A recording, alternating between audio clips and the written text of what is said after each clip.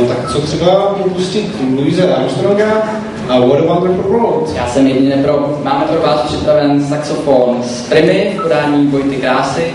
Užijte si. Užijte si to.